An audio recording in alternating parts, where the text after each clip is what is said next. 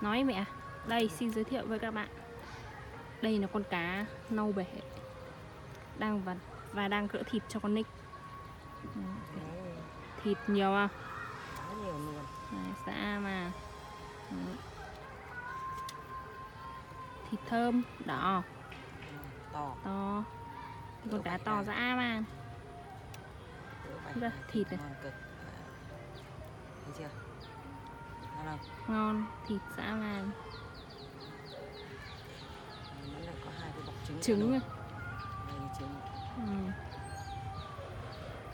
trứng cho con đi ăn luôn. Mẹ cho nó ăn vậy tối nó ăn chờ cờ xéo ra chỗ khác đi đừng có mà húm vào Đấy, dã mà đĩa cá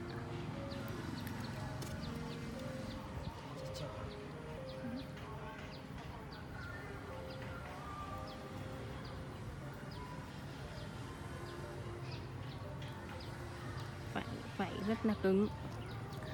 Thịt rất là đỏ và thơm. Cái chỗ đất này trồng gì chưa ấy chưa. Chưa trồng gì à? Không không đánh tơi ra tí nữa à? Ừ. chịu cuốc như này thôi. Là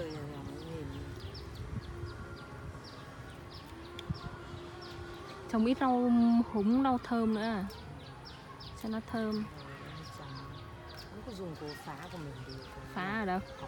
Đi chỗ kia gà chỗ nào? Gốc ờ, gốc gì? Gốc rau mùi ấy à, tàu Ừ. nhìn tốt thì rau cái, cái đuôi cá kem nắm thịt thế.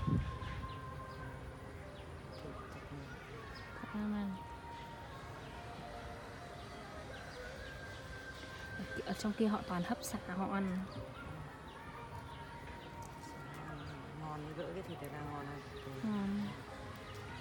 để mình không ăn mình không ăn quen.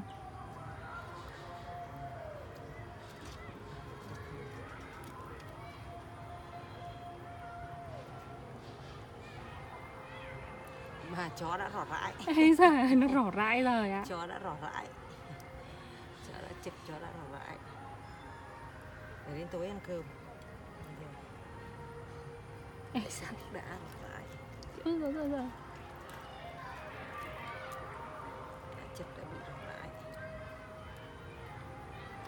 cái miếng thịt ngon nhỉ à, mà thịt thịt trắng tinh trắng đỏ như thịt bò ấy.